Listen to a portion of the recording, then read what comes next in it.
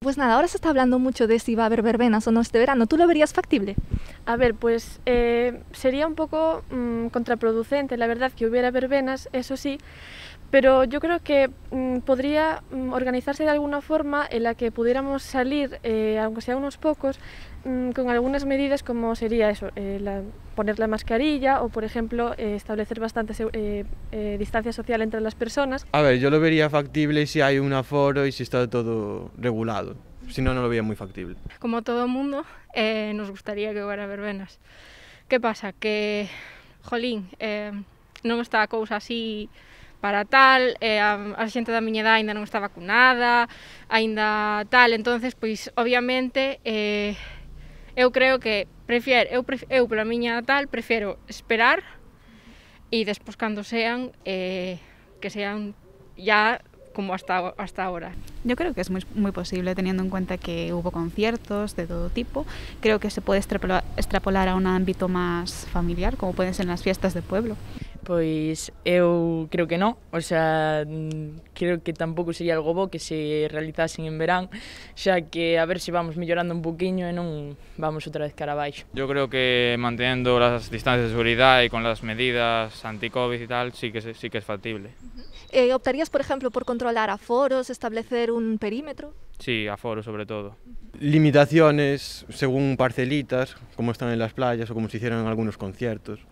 siempre respetando la medida de seguridad y en esos habitáculos pues estando máximo cuatro o seis, dependiendo de cómo mejore el ritmo de vacunación y todo lo demás. Eh, podría ponerse a la gente sentada o podría haber distancia de seguridad o mascarillas como hubo en ciertos conciertos que se celebraron eh, últimamente. Vale, o aforo pode ser, pero tipo ante, imagínate, 5.000 personas, por poñer, eh, bailando con esto posto, porque se si hai aforo vai haber que ter esto posto. No, o sea, no. Son do Concello de Ordes, en eh, verbena verbena pola eh, Santa María, o 15 de agosto, E bueno, o sea, pensar neso é como eh, moita morriña, non? Pero, bueno, eh, non sei, ojalá volver a, non sei, 5 da mañá, 6, bueno, es que o que sea, e volver a, a ese ambiente de a cortar a carretera, estar todo petado de xente e tal, estaría, jolín, moi... Yo soy de la Estrada. ¿Y qué fiestas hay importantes en la Estrada?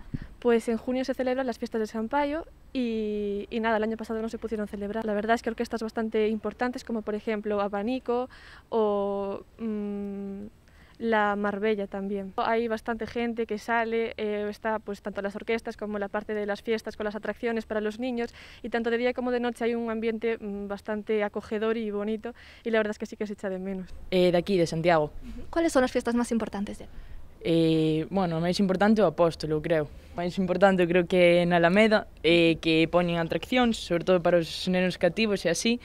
Eh, bueno, despois, a ver, bueno, pois xa montas ti. Eh, eh, Bueno, tamén hai orquestas, o sea, unha orquesta na Alameda e na zona bella tamén tes concertos ao longo da Semana do Apóstolo e así. De Rianxo. E cuáles son as fiestas máis importantes? La fiesta máis importante es la Guadalupe. Suele haber mm, orquestas moi importantes como Panorama, Banico, La Gran Parada, etc. El último día, es el último día de la Guadalupe, se celebra el último día. Y básicamente se canta la riancheira todos juntos y yo creo que aunque fuera con distancia de seguridad sería muy posible y sería muy bonito igualmente. Se echa de menos bastante por el simple hecho de que salías a relajarte, a estar tranquilo, tal, después de a lo mejor venías de exámenes finales, venías de preparar cosas, de hacer tal y era como un momento de desconexión. ¿Tienes alguna orquesta favorita? Bueno, pois a verdade é que ando aí entre dúas. Eh, non sei, entre a París e, e a Panorama, creo que son, o sea, aparte de que é evidente que son as das mellores orquestas de Galicia, pois. Mais que cantante, bueno, sí, Diego Moreira, o da París, o guitarrista da París, pois eh, especialmente me gustaría.